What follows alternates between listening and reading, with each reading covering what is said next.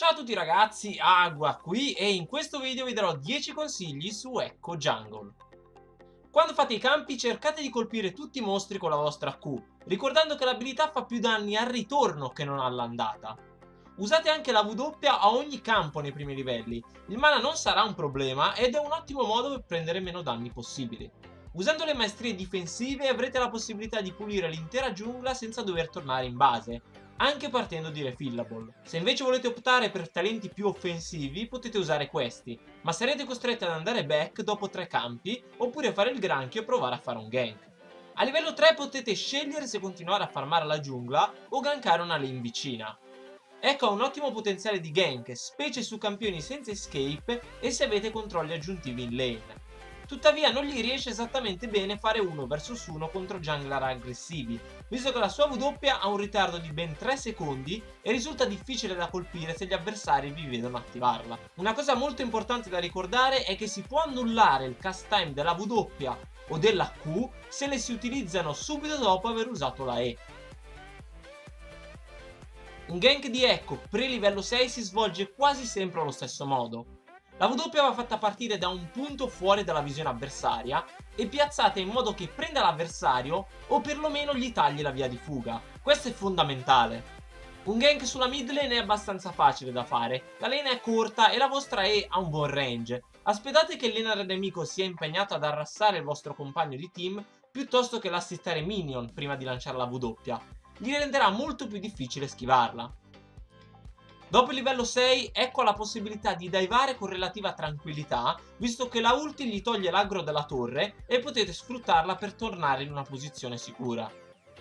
Una cosa anche importante è che a livello 6 la vostra passiva fornirà un rallentamento maggiore. Nelle lane laterali dove in genere è più difficile colpire la W, potrete invece gankare normalmente di E attivare lo slow di Q più passiva e poi far partire la W per tagliare la strada all'avversario rallentato. Sarà molto più facile gankare così, ma vi giocherete l'effetto sorpresa.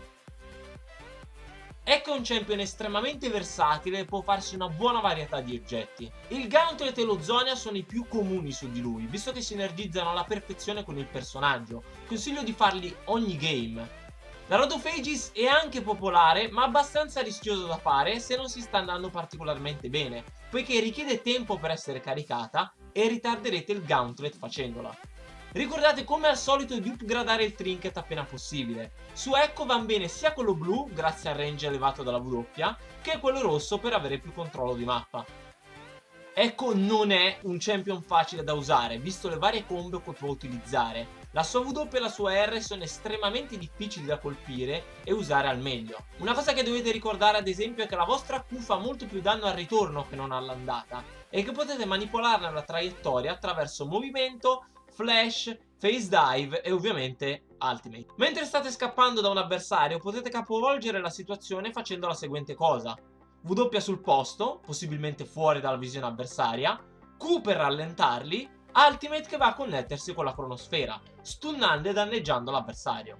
Questa invece torna molto utile in teamfight. W sul posto, Zonia immediato, Ultimate.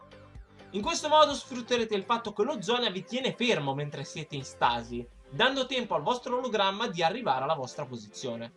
Il vostro ologramma è tutto per voi, in teamfight dovete sempre cercare di tenerne traccia. Usare l'ultimate per scappare è ok, ma è come utilizzare l'abilità a metà. Il danno ad area che provvede è veramente elevato e dovrete cercare di avere i riflessi pronti per prendere più avversari possibili con essa. Oltre agli stordimenti, silenziamenti e provocazioni, anche abilità che vi mobilizzano possono impedirvi di usare l'ultimate. Tenetelo a mente la prossima volta che avrete contro Morgana o Lux. In teamfight Echo può fare una marea di cose. Può ingaggiare con la sua W, cosa che gli riesce bene se in team ha già altri personaggi con controlli pesanti.